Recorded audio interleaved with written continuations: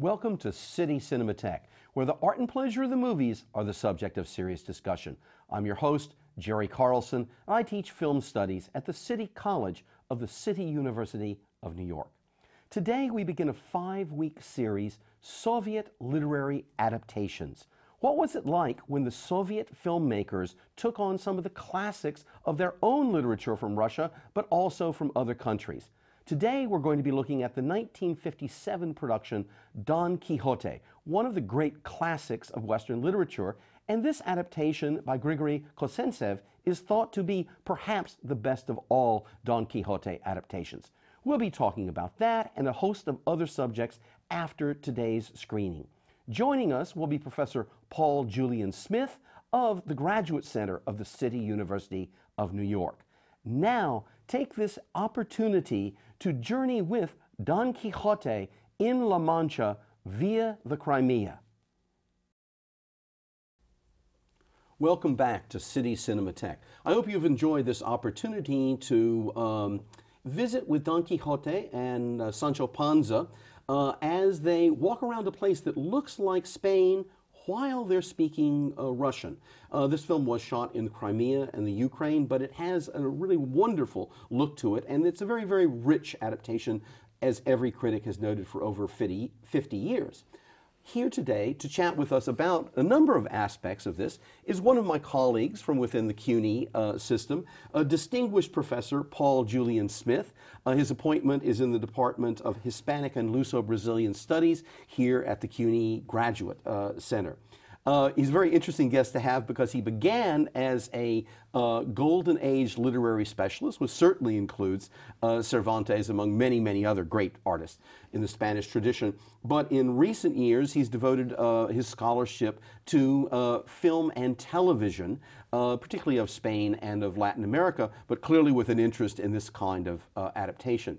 A number of uh, our uh, viewers might have uh, stumbled across his name even more recently because he's now a regular columnist for the uh, journal Film Quarterly. Welcome to City Cinematheque, Paul. Thanks very much, Jerry. It's very nice to be here.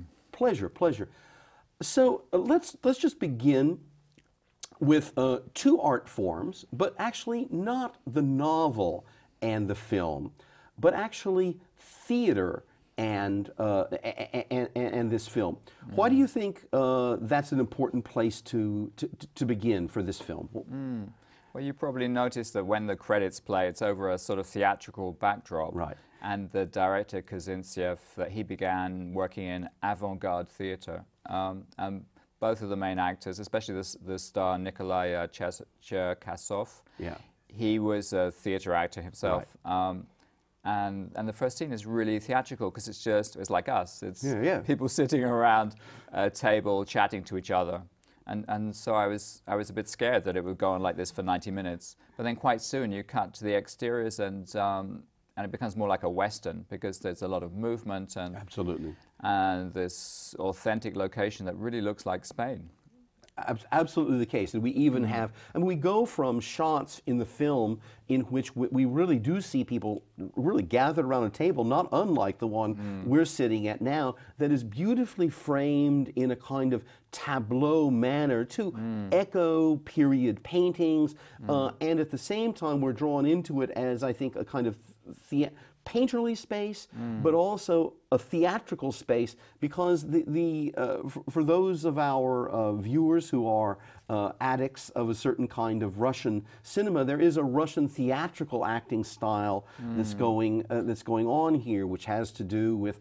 almost this kind of suppressed energy in their bodies, mm. but um, certain rhythms of delivery. Then, as you point out so well, bingo, we're outside and we have uh, urging uh, music and mm. at certain points, uh, for example, during the, the, the, the, the battle scenes, if you can call them battles or dueling, mm. dueling scenes, we'll have a rapidly, you know, moving camera uh, mm. following someone charging on a horse that could mm. very well be a John Ford Western of some, uh, uh mm. of, of, of, some kind.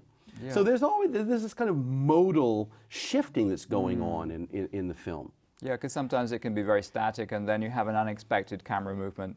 For example, when Don Quixote escapes from his, uh, his house, he's being kind of held captive, and, and the camera goes up in a crane shot, um, and, and, and so there is a kind of an exploitation of all the resources of, of cinema, even within a, a theatrical tr tradition, I think. Yeah. But it's interesting what you say about the visual style because it is clearly based on Spanish Golden Age painting. And so, although the colors look, uh, look a little bit washed out, this is the way that, say, Velasquez painted. Velasquez has a beautiful portrait called Philip IV in gold and, and, sorry, in brown and silver. Right. And the brown, I'm not sure about silver, but there's a, certainly a lot of brown and grey in this film, which does correspond to a Spanish palette, really. Well, and, and it's interesting uh, because this is clearly a, a deeply researched mm. film.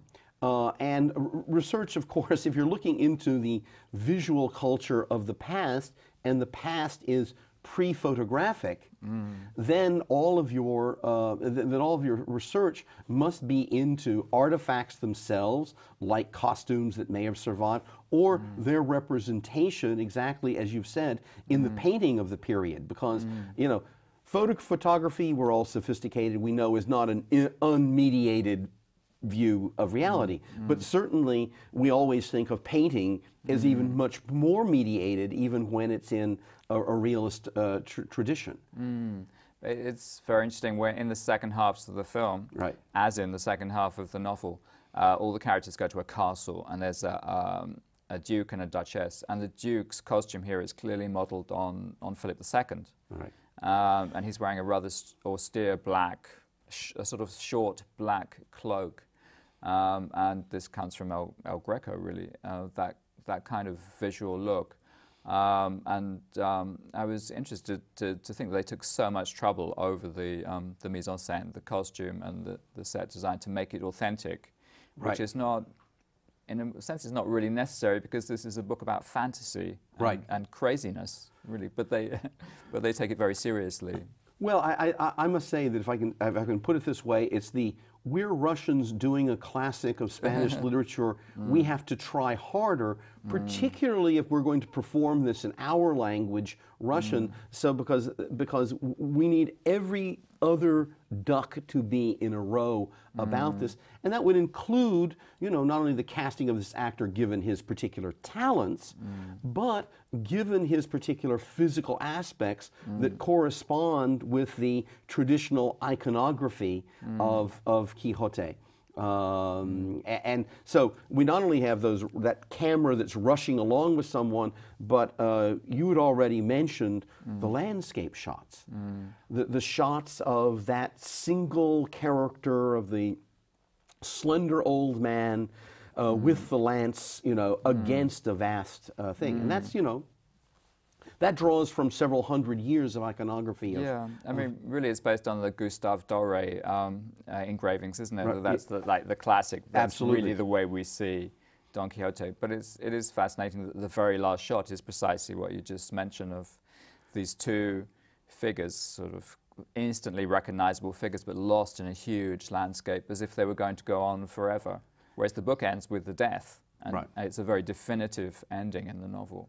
Well, let's let's let's now talk about the novel in the film mm. just for just for a minute or so. Mm. We're talking about a you know a thousand page novel in two uh, in two parts. Um, mm. You know, published over uh, a, a, long period of of.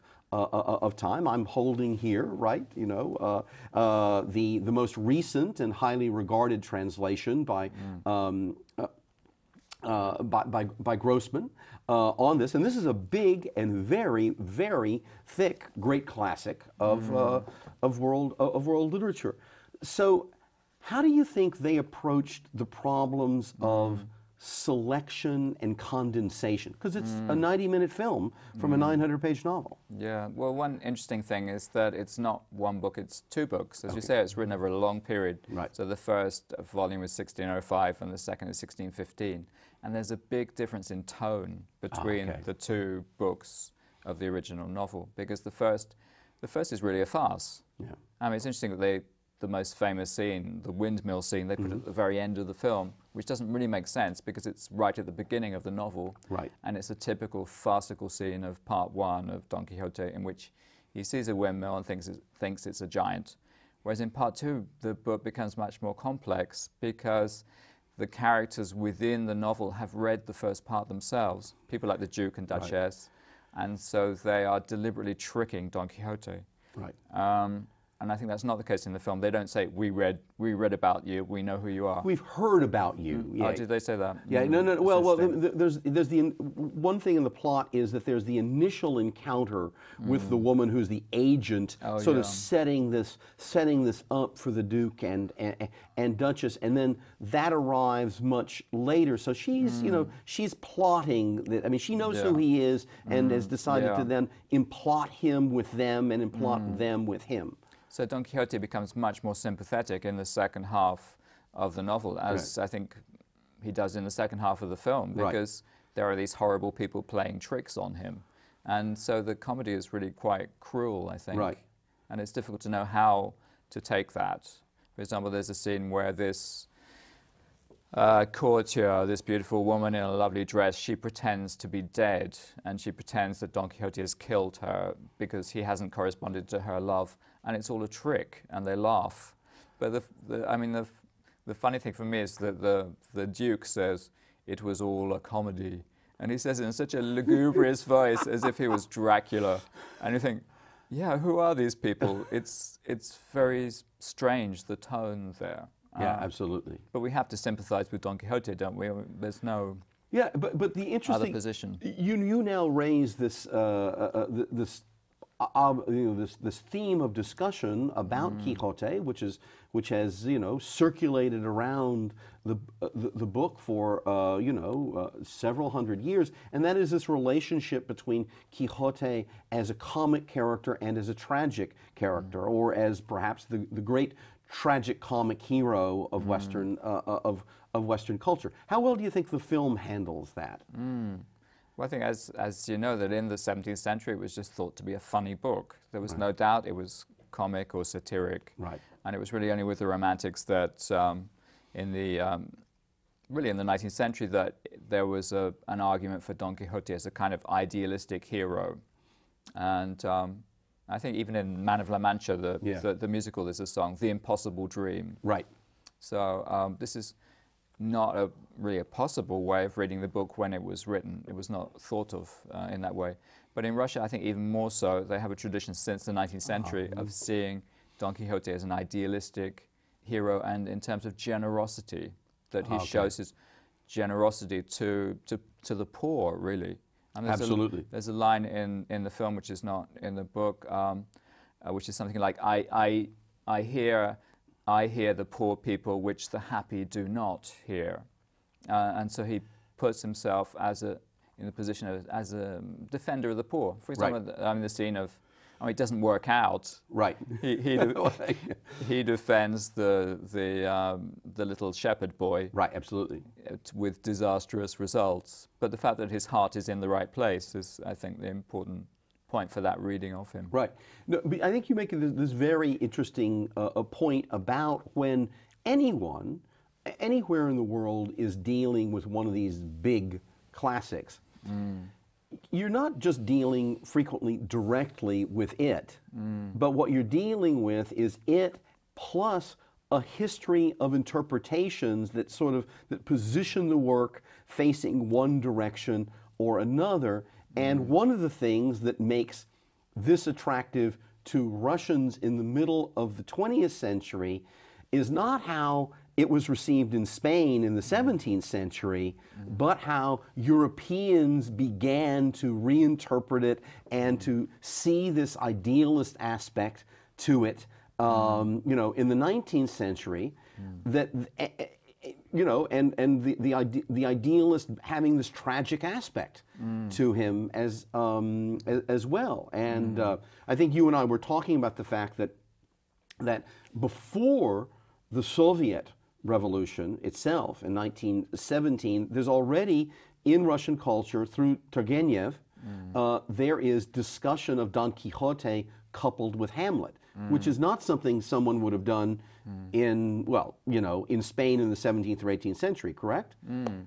No, that would be would have been impossible because they didn't know who Shakespeare was. Yeah. Uh, but um, And, and then uh, uh, who directed this Right. film, Don Quixote, he went on to make a very famous uh, uh, version of Hamlet 10 years later in, in the Soviet Union. Right. So the thing about that is that um, so if Don Quixote was introduced into uh, Russia as it was in, Right. in the 19th century, it was, as you say, as an idealist hero, and um, uh, and, and that's how he stayed, and, and he was the inspiration for Dostoevsky's The Idiot, Right. the character Mishkin, who is a kind of holy fool, and I think this this figure of the holy fool is is important within within Russian culture before the revolution, and and here uh, Kozintsev seems to be harking back to that in his noble depiction of Don Quixote.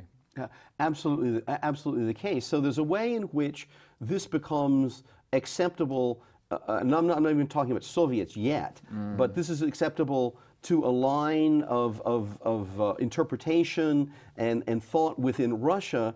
At the same time, since Russia has at certain points suffered from its own sense of isolation and disconnection, etc., it's a way of gathering in one of the great classics of mm. Western literature and say, hey, you know, we're part of mm. this tradition as well, because look at this line through, as it were, mm. um, uh, you know, all the way from Don Quixote through Dostoevsky onto the fact that we're capable now of making a world class film, not merely for our own domestic audience, but clearly this is a, a, a film for export as well. Hmm. Yeah.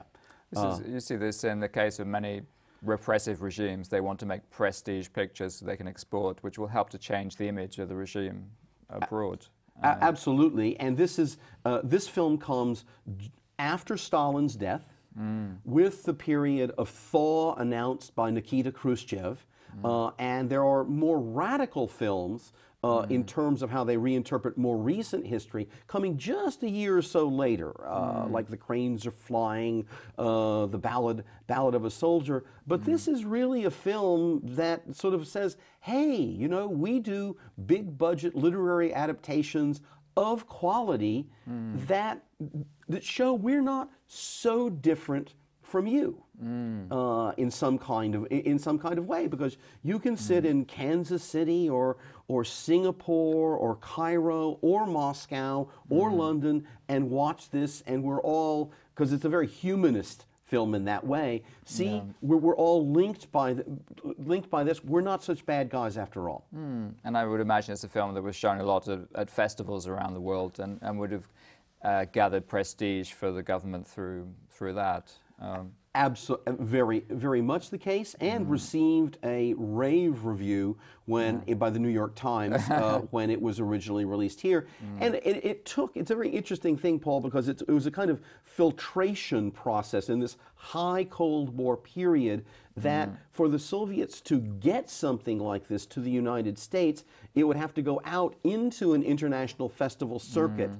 and then sort of be vetted there as mm-hmm. part of acceptable international culture, and mm-hmm. then American distributors would get interested mm-hmm. in it because, of course, given the McCarthy era things that had passed, not very, you know, that was happening in the United States and here just at the end of Stalinism, there nobody wanted to touch anything Russian if it had any mark of propaganda. Mm. You know about it, and this is presumably a propaganda-free uh, adaptation from that particular era. Yeah, uh, Jerry, because it's very difficult to uh, place politically this film, and uh, and so a few years later, uh, the same director made Hamlet, and that has been read by at least by modern scholars as being a critique of the Soviet Union of of, of a, a corrupt uh, regime.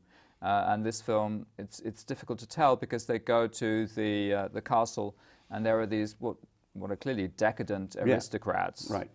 Uh, they are they are bored with being in power, and and so how do we read this? Is this an attack on the aristocracy in 17th century Europe, or is it possibly a veiled, very veiled attack on the Soviet um, um, aristocracy, the the Politburo that controlled everything? It's it's it's not clear. Well, and I think you're making a great point because I think it's very important that it's not clear because, as I've said about certain other works that have this potential allegorical dimension to them, Mm. it's very important that certain of these films that have that dimension are deniable allegories. Mm. So that in certain kinds of allegorical works, you know, if you don't go from level one to level two, then the work is a failure.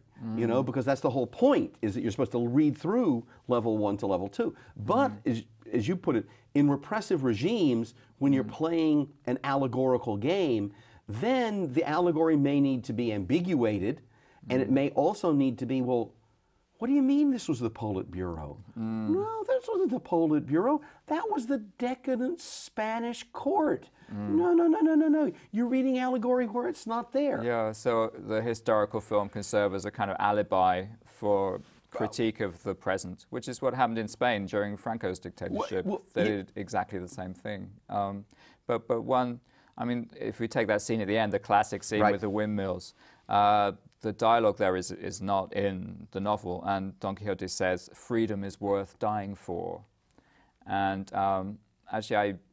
Uh, in, in the Soviet anthem at that time, there was a line uh, which went, I know of no other country where man breathes so freely. Which, which we may not agree with that. Right, exactly, but so, yeah. so freedom was invoked within the Soviet Union as being something they were striving for. Uh, but we perhaps viewers watching at that time in the 50s may not have agreed. Right.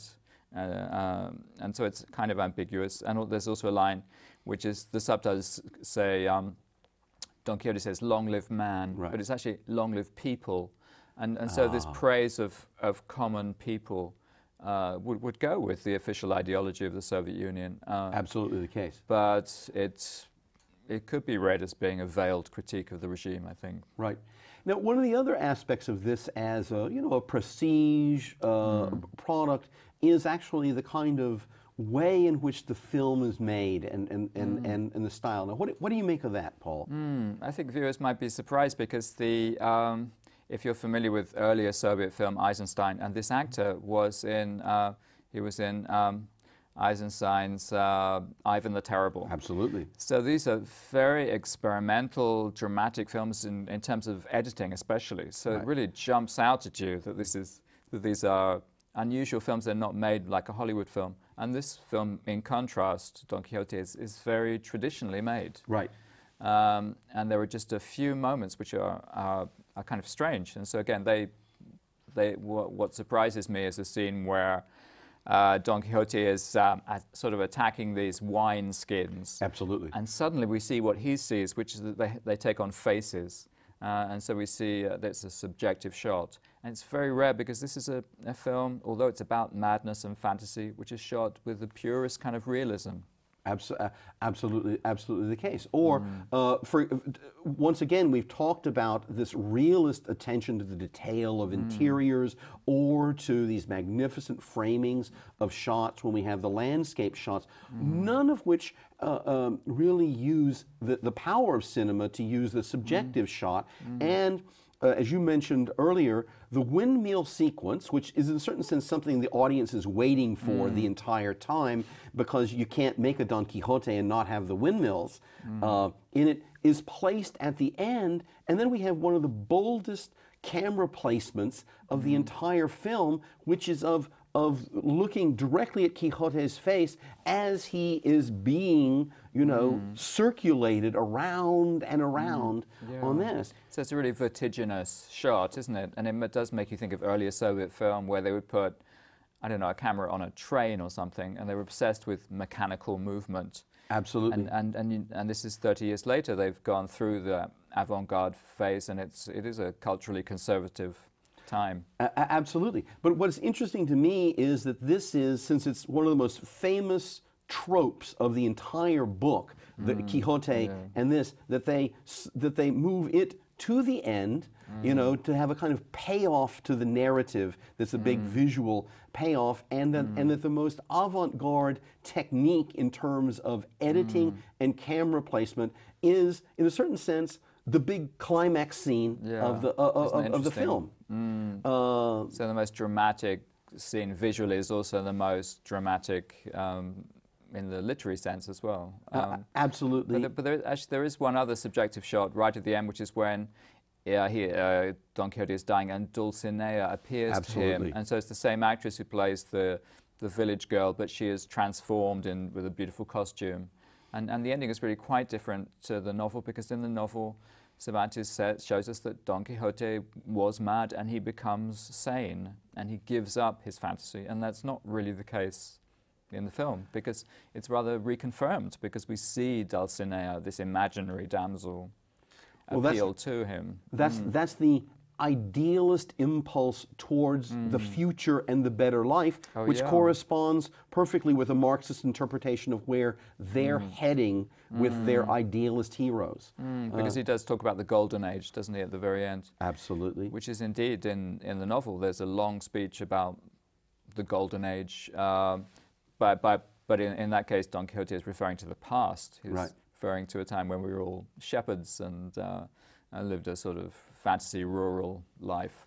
You know, Paul, I, mean, I hate to do this to you, but Mm. our golden age here has come to an end because Mm. we've run we've run out of time.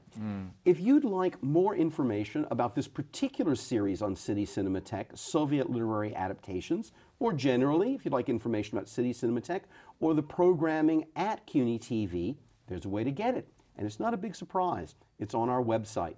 So visit www.cuny.tv. At our website, you'll find information about full programming at the station, as well as click ons to communicate with us, and we do like hearing from you. You can also sign up for the mailing list, the e list, that is, for City, Cinema, City Cinematheque. Please visit www.cuny.tv.